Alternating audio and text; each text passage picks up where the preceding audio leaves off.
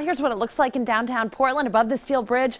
Quite a bit of sunshine right now. Temperatures, though, still running below average. The average high this time of year, 58 out at PDX. We're catching a live snow flurry at Mount Hood Meadows. That's really nice because we won't see much more snow this week. We had about a foot of snow yesterday up at Meadows. Through the gorge, a mix of clouds and sunshine there with scattered showers on and off this morning. And look at all the blue skies in Astoria. A sign of things to come. We have a lot of sunshine to look forward to out along the coast and just about everywhere across the state for the rest of the week. It's 50 right now in Portland, Salem, and Eugene, 41 in Bend. Good afternoon to those of you in Baker City. We've had snow showers there this morning, 43 degrees there. Here's the plan for today. Partly sunny skies, just a mix of those cumulus clouds and a few sun breaks. Can't rule out a few stray showers, especially east of the Cascades, but I think most of the rest of the day is dry. 7 o'clock, clearing skies at sunset. Beautiful sunset tonight and then temperatures will fall off pretty quickly because we'll have clear skies that'll allow the heat of the day to escape into the atmosphere.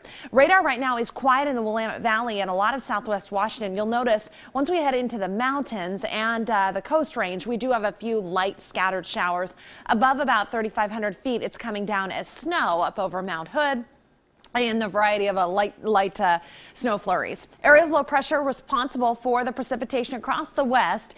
That is going to move out of here and in its place a ridge of high pressure. You'll see the storm track headed well to our north. That's going to dominate the rest of the week. It'll allow us to dry out, warm up, and it'll bring a lot of sunshine too. So let's zip on through your rain and cloud forecast. Here's five this evening. Still a mix of clouds west of the Cascades, bright sunshine along the coast. East of the mountains, pop up showers around, and then they all move down to the south as the moisture gets out of here. 8 o'clock tomorrow morning, we could have some patches of fog across the state, but a lot of us wake up to sunshine, and sunshine dominates the rest of the week. You'll notice this clock is moving, but you're not seeing anything because we're going to see uh, clear conditions just about every day. So some details, headlines on the big warm up ahead. Here's what I'm thinking. Warming up each day. At first, just a little bit. Tomorrow will be in the low 60s. This afternoon, the mid 50s. But by Thursday and Friday, we're talking in the first 70s of 2016, which is right on the money.